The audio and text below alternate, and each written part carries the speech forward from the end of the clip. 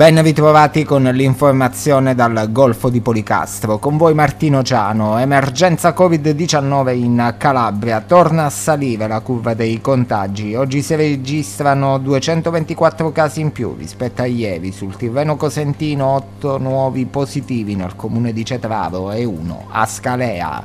La cronaca condanne dai 6 ai 2 anni di reclusione sono state chieste dal sostituto procuratore della DDA di Salerno Luca Masini nei confronti dell'ex giudice della Corte d'Appello di Catanzaro Marco Petrini, del medico faccendiere e collettore di proposte corruttive Emilio Santoro, detto Mario, e dell'avvocato Francesco Saraco, tutti accusati di corruzione in atti giudiziari. Rallentamenti negli iter, spese poco oculate. Per qualcuno tutto questo poteva essere evitato, per altri il sistema Italia ha affrontato l'emergenza Covid-19 con la solita farraginosità.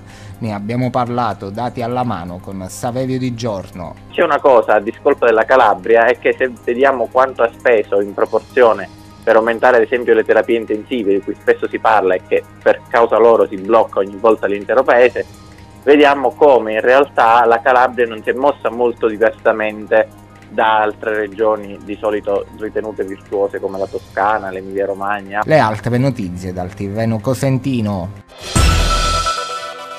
La cronaca, due persone in manette, una di Belvedere Marittimo, un'altra di Scalea, rispettivamente per resistenza pubblico ufficiale ed evasione dagli arresti domiciliari. Gli arresti sono stati effettuati dai carabinieri del nucleo radiomobile di Scalea nelle notti scorse durante le attività di controllo del territorio. A Tortora l'ente tenta la carta del Fondo Sport e Periferie 2020 per la riqualificazione dell'impianto sportivo Umberto Nappi il progetto esecutivo prevede lavori per 700.000 euro ed è stato approvato ieri in giunta. A Diamante il consigliere comunale Antonio Cauteruccio ha ricevuto la delega consiliare alla questione del porto. Recupereremo il tempo perduto, ha scritto Cauteruccio, per portare a termine questa importantissima struttura. A Scalea 59.738 euro per l'erogazione l'erogazione di misure di sostegno e la solidarietà alimentare in favore di nuclei familiari in difficoltà anche temporanea dovuta all'emergenza sanitaria Covid-19. Sono stati sbloccati i fondi comunali da utilizzare per misure di solidarietà. L'iter era stato avviato dal commissario prefettizio Francesco Massidda. Ci spostiamo in Basilicata.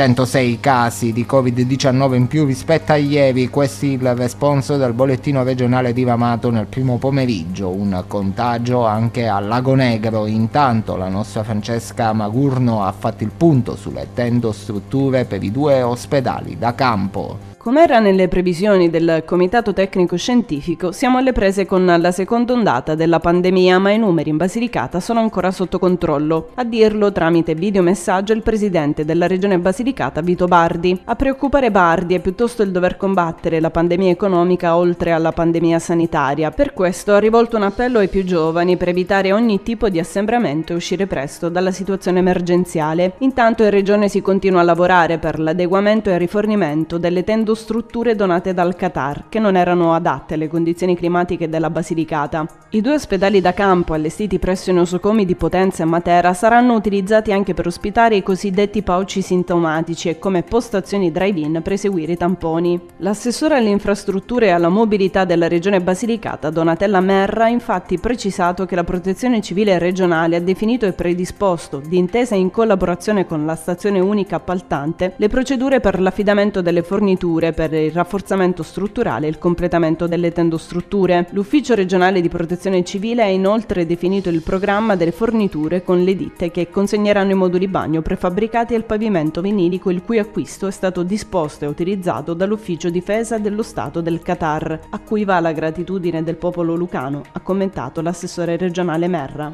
Ci spostiamo in Cilento e nel Vallo di Diano. Contagi in aumento anche nei comuni del Cilento, quattro nuovi casi a Ispani e uno a Torre Orsaia. Si tratta di persone che non hanno avuto contatti con soggetti risultati positivi nei giorni scorsi. Intanto all'ospedale San Luca di Vallo riapre il reparto Covid-19, visto che le strutture Covid di Agropoli, Salerno e Scafati sono già piene. E con l'informazione è tutto, grazie per averci seguito.